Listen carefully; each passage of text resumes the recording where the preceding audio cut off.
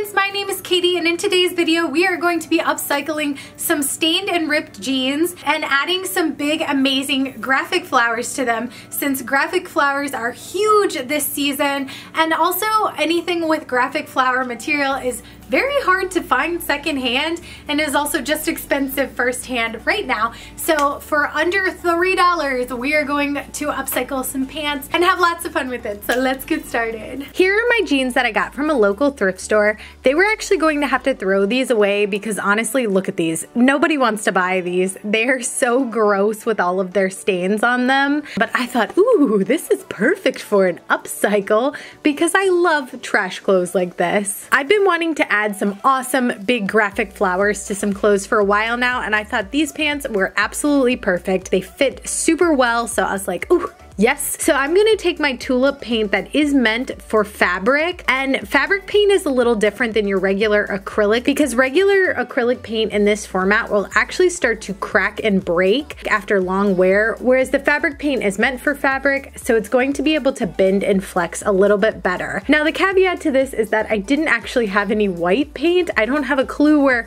my white fabric paint went, so I did end up mixing some white acrylic with the colors. That way would give it more of a dull, like vintage vibe versus having the colors be like super bright. So I'm just going to go all the way around all of these flowers, painting them in and give you just some aesthetic painting vibes.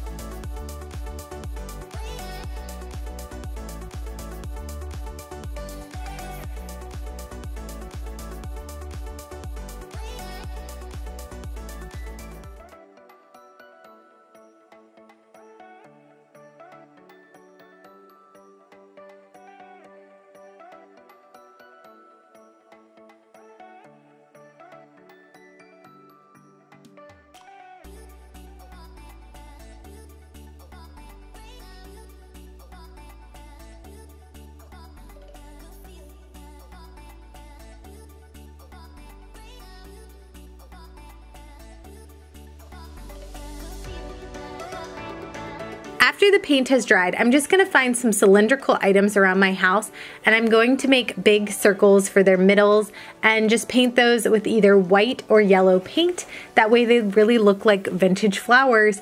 And that's really all there is to this tutorial. This is so simple, but man, these pants are fun. They're just so much cooler than having boring jeans and I think these would pair well with so many things. So happy crafting!